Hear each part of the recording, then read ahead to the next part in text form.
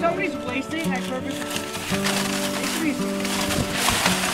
So today uh, we've got a bunch of Penndale students out doing a waste audit here at Penndale. We uh, collected all of the trash from the building from yesterday, Thursday, and today we're sorting it by where it came from and what it is.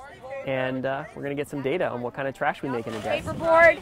Paperboard goes in with a single stream. This should be just yes. See those? Waste management is here facilitating us. They are our waste hauler, and they're kind of the experts in what goes where. So they uh, provided all of the information we need, and they're kind of consulting behind me right now on where certain things go as we sort because they know what's recyclable and what's not at their facilities.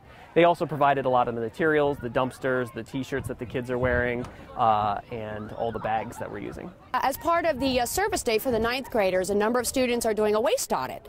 And what the waste audit is going to be about here at Penndale Middle School is having students determine whether or not the school can do a better job of recycling.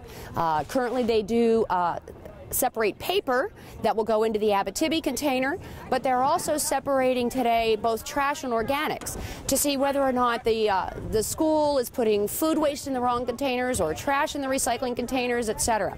So they literally are getting down to every single piece of waste or recycling and making sure uh, it's been put into the right place and how they could possibly do a better job here inside uh, the middle school.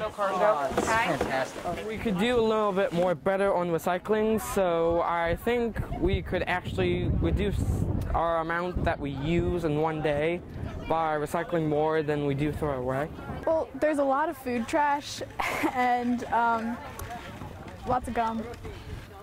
Please don't throw gum in the recycling bin. and why is that?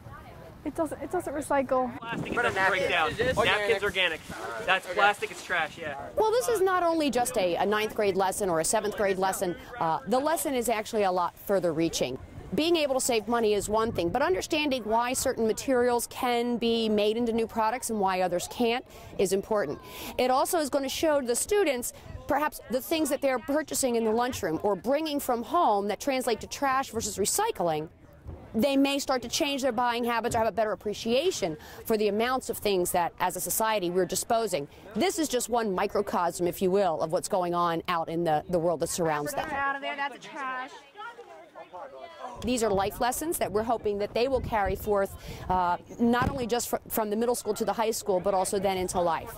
So we do a lot of different types of programs, and uh, we're just so excited to be a part of this activity, especially here today. Single stream recycling is going to have.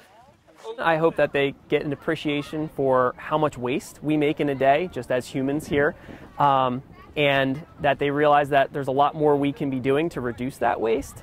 And then, sort of long term, we're going to look at this data, and I'm hoping that they can actually get some ideas and bring it back to us to say, we noticed this on the day of the waste audit. Here's how we think we can reduce that type of waste.